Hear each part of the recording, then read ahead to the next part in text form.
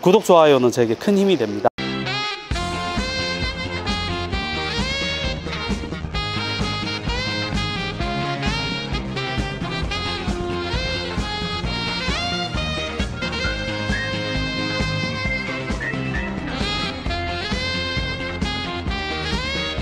대형 트럭들 보시면은 어 뭐 4만 킬로, 5만 킬로, 뭐 8만 킬로 뭐 이렇게들 타시죠?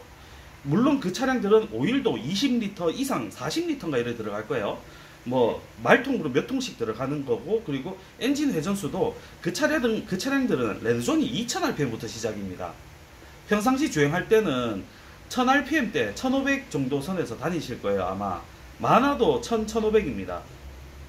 이미 구동 조건 자체가 다르죠. 그래서 오토바이들 같은 경우에는 자동차보다 소모품 교환 주기가 빠르다. 이거는 단순히 상술이 아니다. 제가 겪어본 바로는 그런 느낌입니다. 그래서 이 차량 같은 경우에도 그래요. 이제 싸게 싸게 고칠 수 있으면 좋겠지만 원칙적으로는 이제 싸게 고칠 수 있는 범위를 번 넘어섰기 때문에 어쩔 수 없죠. 이 화석 차량들 운행하시는 분들 딜레마가 항상 있습니다. 그 이유가 뭐냐면은 중고 가량 중고 차량 가액은 이 정도 금액밖에 안 하는데 수리비가 이미 중고 차량 가액을 넘어서는 경우가 태반이에요. 그 말이 뭐냐면은 자동차도 그렇지만 오토바이 자체 소모품입니다. 전체가 소모품이에요.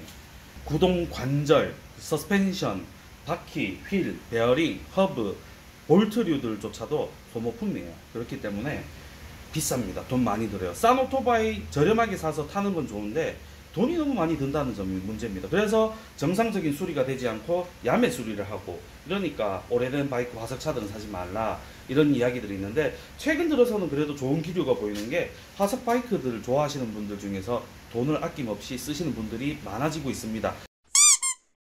그 화석 바이크 자체의 본질을 보고 이제 하시는 거죠. 누군가는 이야기 할 겁니다. 아니 그 살 바 되거든요. 그 돈 주고 야 이만큼 이 여기에다가 이 돈 들였으면은 차라리 신형차 사서 타는 게 좋지 않냐?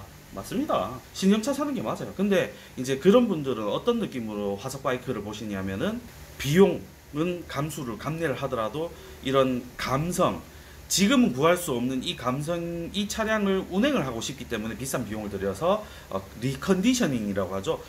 컨디션을 다시 회복하는 과정을 이렇게 밟고 가는 것이라고 생각이 됩니다.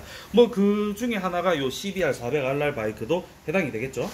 지금 요 V스트롬도 그래요. 지금 이 차량 지금 처음에 입고되고 나서 수리를 하는데 거의 증상 잡고 하고 뭐 하고 삽질을 했지만은 수리 기간 부속 수급 엄청 오래 걸렸습니다. 그리고 부품 가격도 절대 안 싸요. 이 바이크 이거 200만 원, 300만 원 하는 바이크 부품 가격은 지금 나오고 있는 신형 바이크보다 더 비싼 경우도 있습니다. 왜냐? 연식에 따라서 부품 가격이 떨어지진 않아요. 물류 관리 비용이라는 게 있죠. 물류 쪽에 계시는 분들은 아실 겁니다. 재고 관리하는데 재고 관리 비용이 드는 거. 그래서 얼마만큼 오랫동안 이 부속을 오래 보유하면 보유할수록 관리 비용 자체도 굉장히 올라가니까 순환이 빠른 것들이 아니고서는 솔직히 마이너스입니다. 부품 재고를 보유하려고 하지 않아요. 그리고 국내 바이크 회사들, 수입사들도 어지간한 신형 차량이나 간단한 소모품류들 부속들은 보유를 하고 있지만은 이제 회전율이 떨어지기 때문에 오래된 차량뿐만 아니라 잘 찾지 않는 부속들 이런 것들은 재고를 부, 보유하려고 하지 않습니다. 비용이 들기 때문이죠. 그리고 거기에 그 부속을 사서 와야 될 거 아닙니까? 그 부속을 사서 가지고 있는 동안 그 비용, 그 돈 자체가 묶여 있으니까 회전율이, 현금 회전율이 떨어지니까 잘 안 하려고 합니다. 그래서 화석 바이크들이나 이런 것들 수리할 때 부품이 굉장히 오래 걸려. 왜? 현지에서 받아와야 되니까. 그렇습니다. 어, 갑자기 이 V스토론 바이크 수리를 하다가 생각이 나가지고 한번 영상을 찍게 됐습니다. 다른 영상으로 또 찾아뵙도록 하죠. 모두들 건강히 빠바! 화석 바이크 사시려는 분들은 진짜 곰곰이 생각해 보셔야 됩니다. 그런 모두들 빠바!